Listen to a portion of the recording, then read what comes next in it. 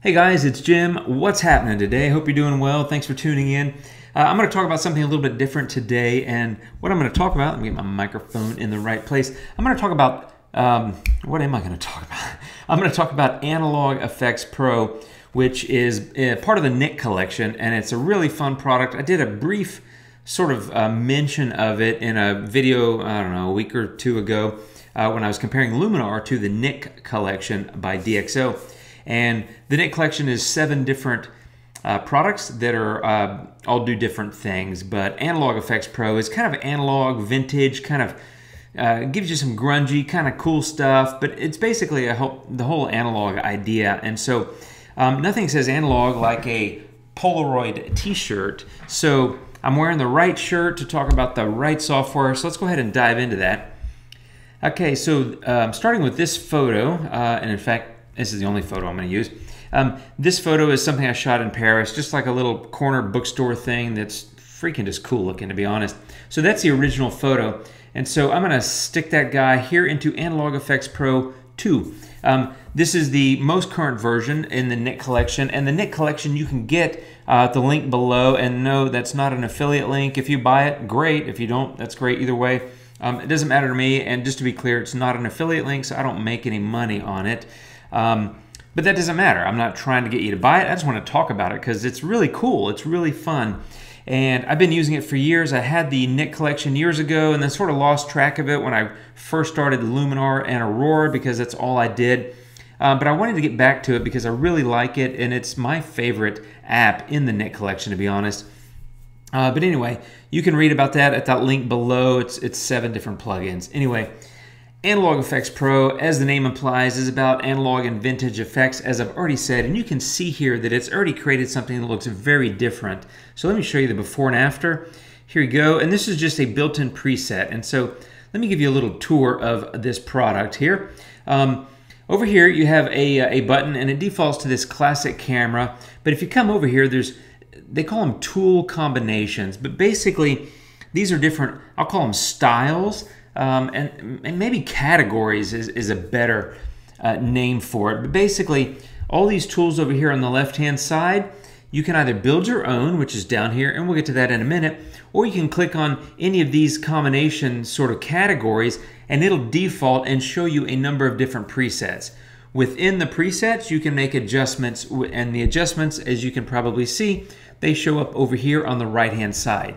This is the group of filters that fall into each category. So let me go ahead and just walk through this. As you click on them, these presets load, and as you can see over here on the right-hand side, things change because the right-hand side are the filters that comprise the preset that I'm choosing here on the left.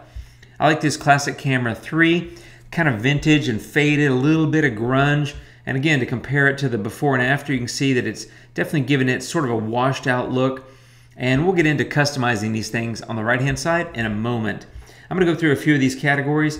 I love Classic Camera 5. I just think that's really cool looking, maybe a tad yellow. So, you know, you can change the film type over here. I can pick a cooler film type and go something like that. Well, that didn't cool it off, did it? That's that's actually really cool. Um, you can also go into the basic panel and take the saturation down. And again, you can see you're starting to get really vintagey kind of things. There's the compare. You just click on that to show you the before and after. Uh, you've seen this slider, and then this is a top and bottom comparison. And of course, you can uh, change it like that, which actually looks a lot better. Uh, let me go back to the full screen. Um, so that's classic camera, and there's a few different presets built in, and yes, you can build your own. We'll talk about that in a moment too. Uh, black and white is pretty neat. There's some nice little black and white presets. I'm not gonna go through all of this because we'd be here all day and uh, you'd probably rather do something else. Uh, color cast. These are kind of interesting. As you can see, some of these have kind of light leaks. And um, as you'll see, there's a filter called light leaks. You can choose, choose from a number of different filters here and then adjust the strength and that sort of thing. So a lot of fun, a lot of flexibility for creating these different sort of effects. Motion. There's a motion blur filter. You can do this zoom and rotate and all you do is you just come over here and you can just adjust your filter accordingly and you can check out how that works. If you want to rotate that blur, you just start dragging this, and if you look on the outside, you can see how that's turning and I'll just go like that, let it go, and it basically starts rotating the blur. I can come back over, over here and recenter that. I could put it there instead. Um, I can grow the size of that if I want so it's not quite so bad. And I can also, um, you know, you can see protect the center is the same as that. The zoom strength, you can turn down a little bit so it's not quite as intense. Um, and the rotate strength, I can, I can lessen as well. Again, just kind of fun and different things. This one also has the um, motion blur, um, and you know you can just add these things, and then you can choose the blur direction, right? So there's a lot of different things that you can do. Again, here's blur direction, right? So you can just kind of see how this works. Um, sort of drag that around and choose the direction of your motion blur. Here's a couple of other presets. Again, they're all all the presets I think I think are actually pretty cool, but they're all adjustable. So you might look at this one and think, you know, what the hell happened to that? Um, but you can come in here and fix it, change it, adjust it, and then save your own. Um, this one looks pretty cool here, I think. Um, I probably would make that center area a bit larger. I don't want to blur the whole thing. That kind of ruins it for me because then it just looks like a mess. Um, but something like that looks pretty cool. When you hover over and you have one of those blur filters, you get that grid that you can adjust. You can move your mouse off the screen and it removes that. And now you got just sort of a gentle bokeh on the outside, and that was with the motion blur, and you can see it has a little bit of zoom and rotate blur as well. You can change this significantly. You can come in here and change the film type. Um, you could, uh, you know, customize it. So a lot of fun, a lot of uh, different sort of effects. That's motion. Wet plate. Um, I'm not going to go into wet plate uh, photography. It's it's an old film technique, and truthfully, I don't know a lot about it. But it's darkroom chemically stuff that ends up giving you some sort of strange artifacts in your photos. I don't know a lot about it. I've read about it, I've heard about it, but I don't follow it. Um, I was never a film guy. I've been digital pretty much my whole life. But you do have some wet plate options, and you see you can choose here the different sort of photo plate that's used. Again, that will customize the look of your photo. So that's wet plate. Here's subtle bokeh.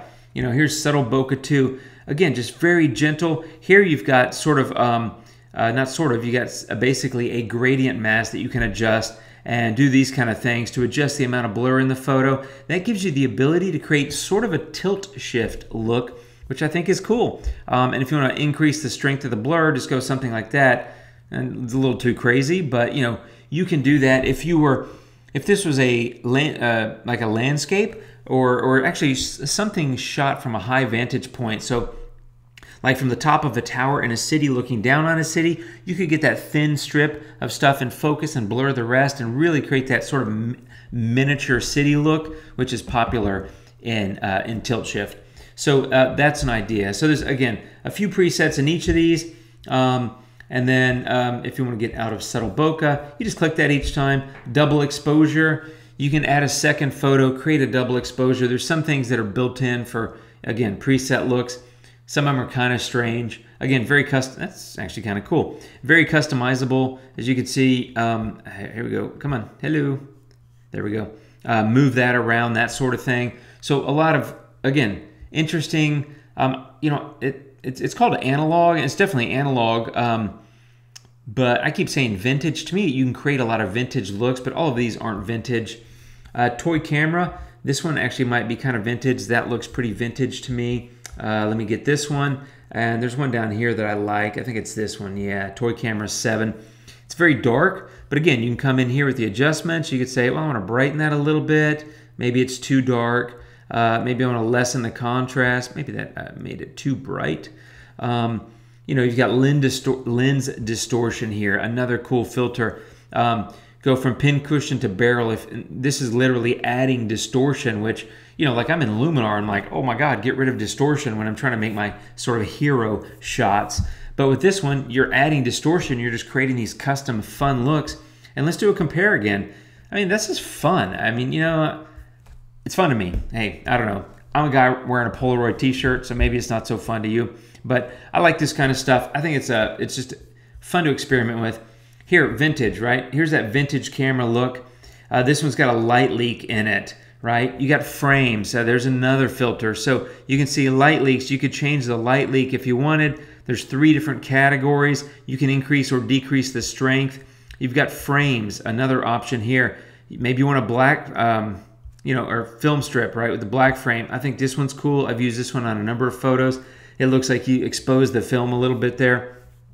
Fun stuff. It's it's just good, clean fun. Personally, I mean, you got to buy the Nik collection for 50 bucks. And um, if you've already had the Nik collection, basically you're buying support, uh, which I did and I talked about in that previous video. But for me, if you don't have the Nik collection, I personally think Analog Efex Pro is worth 50 bucks.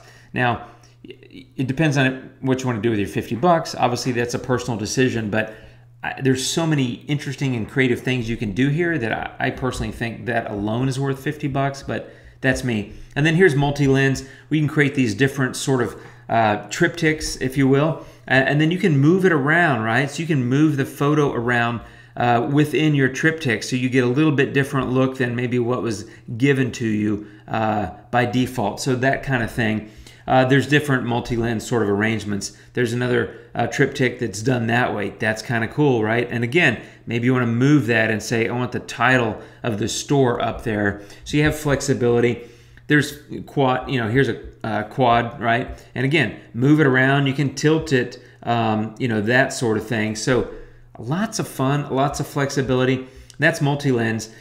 Um, so let me uh, let me go over here to just uh, build a camera. So this is camera kit. Now it's going to bring over the filters that I've got because what you might want to do is take one of these presets and then say, well, I like that, but I want to add a vignette. Now, you probably wouldn't add a vignette to this because it's a, a multi-lens, but that's how you would go take a preset and then start adding stuff to it. But what I'm going to do, you can see there's a uh, either a plus if you want to add it, and there's a minus if you've already got it and you want to take it away. So I'm going to get rid of these ones that are included in this preset.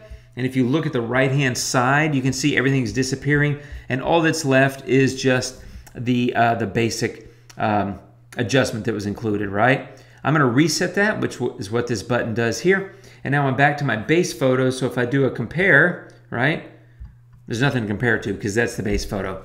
So here's where we can come in and build your own custom look. So maybe I want to drag the detail extraction. Maybe I want to dark, oops, darken it a little bit, uh, add some contrast. Maybe I want to jack that saturation up.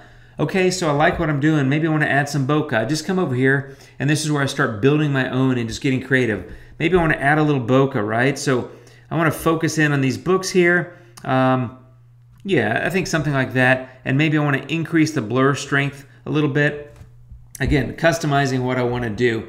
Uh, maybe I decide I don't like bokeh. All right, just hit the minus sign and it's gone. I've still got my basic adjustments, and if I don't like those, I hit that to reset it. Um, maybe I want to do a light leak, and maybe I want to add some dirt and scratches just to kind of create a beat up kind of vintage look. So you just click on these filters, they'll drop down and they'll close the next one when you click on a subsequent one. So that's what I did already in basic. I'm gonna go to light leaks here we go. That's the, just the default. I'm going to go to, let's say, crisp. I'm just making this up, people. Um, eh, I don't really like that. You just click through it. It builds it pretty quickly. Yeah, that one's kind of fun. And then you can adjust the strength of it up or down, right? So I'm going to do, I'm going to, I'm not actually not going to do that one. I'm going to keep experimenting. So bear with me while I mess around. This one might be kind of, ooh, that's kind of fun. It almost looks like sunshine's coming in. And maybe I want to move that up a little bit. So I got a light leak kind of coming across and actually it kind of does look a little bit like sunshine. So let's say I like that look and then I go into the dirt and scratches. So you get different categories. Dust and lint, scratches, organic, and eroded. I'll just go to eroded and you can see it's going to drop these splotches. It's basically a texture. It drops the splotches on top. And if it's too much, you just take the strength down and that sort of thing. So it's very flexible. This is not meant to be an entirely comprehensive tutorial. Also notice you do have control points. Control points are basically um, what allow you to control specific parts of the image with the adjustment that you're on. So uh, it may be better uh, here in the basic panel. I'll just say add control point. I'll drop a control point there and you can see I've got detail extractor, brightness, I've got contrast, and I've got saturation. So all you do is with the control point is you increase or decrease the radius. You can move it around the photo and then you can customize each of these individual components within that control point. And so that was when the Nik collection was really popular a few years ago before Google made it free and sort of started ignoring it. The control points are the things that I think got people most excited about the Nik collection. By the way, I'm going to highlight that and hit delete. I don't really want it, but I wanted to point it out. Um, but you can do that on these filters. You can see that the control points are just at the bottom. You can just go in there, click one, add it, and then if you like it, you can just all, also copy and paste it across your photo, or you can just um, uh, you know, add different ones if you want to make different adjustments in different places. Um, so back to this one, I'm creating this vintage look. Let's say I want to add a frame. So I'm going to go add a frame to it. Um, and I kind of like that. So I've got this old film looking frame. I've got a light leak that looks like sunshine. I've got some dirt and scratches and I got some basic adjustments. And there's my before and there's my after. Very different, kind of unique, vintage, analog, you know, whatever you want to call it. The point is, it's really powerful. It's really a lot of fun. And by the way, if you like this, you can just hit save and then you just call this my new preset and you hit OK. And there it is. It shows up in custom. So I was in cameras, right, which is here. But down here on the left is custom and there's my new preset. I'm to delete it. It asks me to confirm. I say sure. Um, you can import presets if you make them and share them with your friends. Um, you've got a history panel which is pretty cool, right? So these are all the different things I've been going through on this photo. So, you know, you might just say, well, Toy Camera 7 was pretty cool. I think I'll go back to that. And so it'll go back, uh, and you got to give it a minute because it's backing up through a whole lot of stuff. Apparently, it's going to back up through all this stuff. I didn't know that. Maybe I should know these things. Here we go. Um, I'm kind of having fun. Half the fun of doing these videos is I hit buttons and something happens and I kind of scratch my head and say, why in the hell did that happen? Um, so half the time I'm learning. Um, so here we go. It didn't go through all the adjustments, but it did back up to where I was uh, at Toy Camera 7, which by the way, I really like that look. I just think it's a little too dark, so I might would brighten it a little bit. And um, I think I would be done, to be honest. So let me compare. There's the before and there's the after. You can see uh, it added some lens distortion, right? It made it more of a pin cushion. Let me show you again the before. You can kind of tell by looking at it. I think it looks kind of cool. It's almost like, well, pin cushioned, right? It's kind of pushed in a little bit, a little bit of curvature. If you don't like it, hey, guess what? You just slide pin cushion to the right and it'll start to get back to the normal sort of alignment. Um, that's how it works, my friends. I'm going to get out of history. Uh, I'm going to go back here to camera, and uh, really I don't need to do anything else. I think I've covered everything. Um, yeah, I think I have. Oh, there's a loop and a histogram, right? If you want to look at that stuff, I don't really care, to be honest, especially on a photo like this. I'm not really paying attention to the histogram. I'm just looking at the photo and saying I like it or I don't like it. And then when you're done, you just uh, save the photo, which should be right up here, I believe. Uh, hello. Maybe it's not up there. Oh, save. Hello. Save's in the very bottom.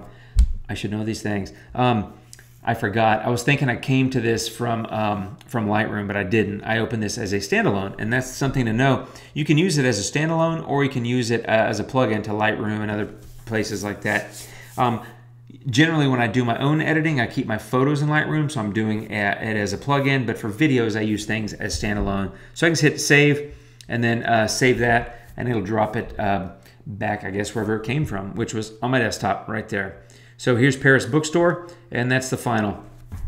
And that's how it works, my friends. I hope that's helpful. Um, and if it's not, sorry, I guess.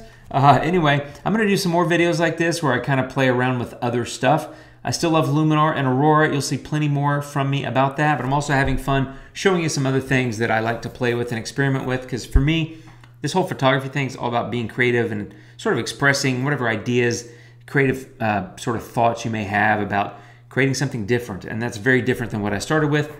Hope you like it. Thanks for watching. If you have any questions, hit that, uh, leave a comment down below. And if you haven't yet, uh, like my channel or subscribe, whatever it's called. I can't even keep up anymore. Uh, hit subscribe, like the video, share with your friends, and come back soon. I'm going to be coming uh, back real soon myself with a lot of videos. So thanks for watching. I'll see you soon. Have a great day and adios.